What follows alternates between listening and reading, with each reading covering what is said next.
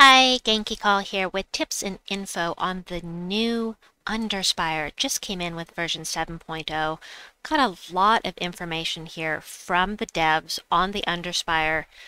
I'm going to add a link to this um, to this information in the description box below. What I'm going to do is I'm going to go over what I know about the Underspire, including tips and information on it. So um, you can read the official information or if you would like. I'm not going to go over all of that. I'm just going to go over the stuff that's really useful for you. First of all, how do you get to the Underspire? Well, there are two ways. The first is to go in here and click on the button that says in Underspire. That's the fastest, easiest way. If you know which kingdom we are currently in, go directly to that kingdom or look on the um, on the map for this blue symbol with the uh, moon and star in it. That is the kingdom we are currently visiting. You go there, and for now, uh, hopefully this will be changed. Explore has been changed for the week for that one kingdom. It's the only place that you can get into the Underspire is for that one kingdom. You have to use the troops. Um, for that kingdom, and you also have to use the weapon for that kingdom. The Underspire really is not meant for people that are low level. If to really get into this, it's a gem sink if you really want to get through this. You will get seven free torches per day, up to seven free torches a day, according to the information. Um, you can also buy more. You can buy an additional 15 torches per day It'll cost you 300 gems to get the, the maximum. Now, the lanterns, I'm going to get into that in just a minute. Um, these are money locked, but you do get one free. So you fight the first battle in the Underspire, win it, and then you will reveal the merchant room. Merchant room, you go in here. The first merchant room you come to in the Underspire each week will give you one free lantern don't waste it. The lanterns, you can't click anywhere to see what the lantern does, but the lantern will give you double rewards for the room and um, it will allow you to see one extra space past um, where you currently are. So right now, visibility is blocked here, right? Now, something you may have noticed here, there's a keystone. In order to get to the keystones and progress in the dungeon, you have to have the keystone. Don't waste your gems on this. I mean, you can, if you want to, but all of the loot and a free, uh, all of the loot and a free uh, keystone, sorry about that, is going to be in the boss rooms, which look like this. So once you find the boss room, you're going to go in here, use your lantern, click.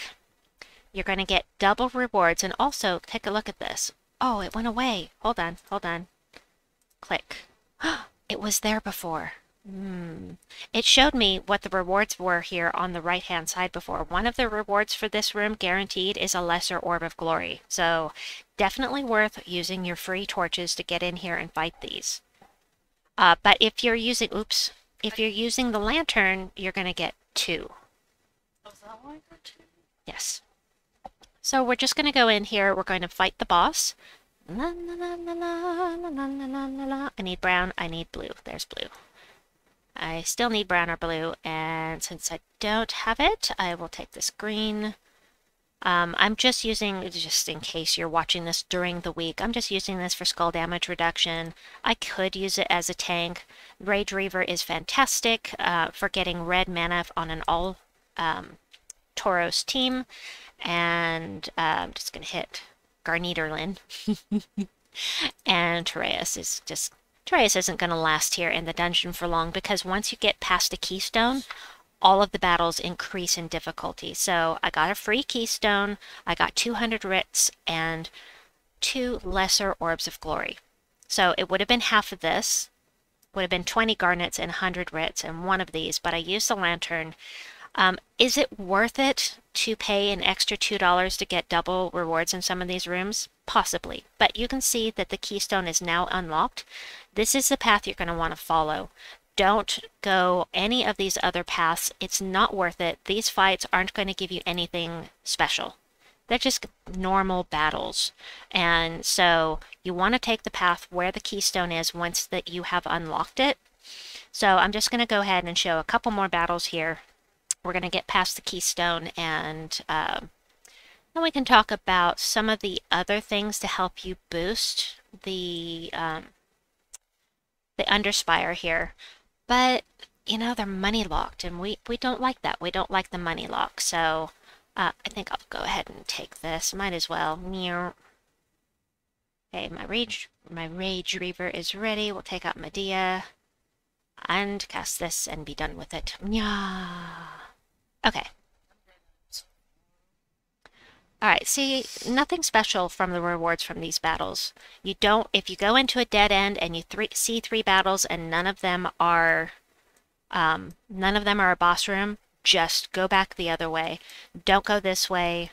Follow on past the, uh, the keystone at this point. So, um, the extra visibility is great, but double rewards for a room that gives you basically no rewards is a waste of a um, a lantern for sure. Uh, uh, uh, uh, uh, ha, ha, ha. Yes, I'm taking that. Thank you. Go ahead and get some mana here. And kill all the things. Let's see if we can find anything else interesting here. Now, I did say, also, you can zoom out um, so this map will be different for everyone. Don't bother trying to follow my map because they're procedurally generated per player. They're different for everyone because otherwise, you know, one person would map it out and then everybody would know exactly where to go, which would mean we'd be spending fewer gems. And the gems, you know, of course, devs don't want that. This is meant to be a gem sink. Uh, anyway, so you can zoom out with this, or you can also buy trinkets. Now these trinkets are explained on the forum with uh, that information I showed you early on. Uh, hello, I want to close that there. All right, and you can buy trinkets from this guy. Cost you gems. It's not money, but I mean, gems eventually will run into money if you use too many of them. But obviously, the Hex um, trinket is going to curse all enemies at the start of battle. It's only for that one battle. Deathmark all enemies, one battle. Freeze all enemies, one battle. And so on and so forth. Anyway, uh, once you've unlocked the keystone, go this way. Which way shall I go? Sure, we'll go this way. I don't recommend buying the trinkets. Um, totally up to you. As far as the um, as the lanterns go, you know, again, that's personal point uh, choice. If it's worth it to you to spend uh, two dollars to get extra, you know, then it's worth it to you.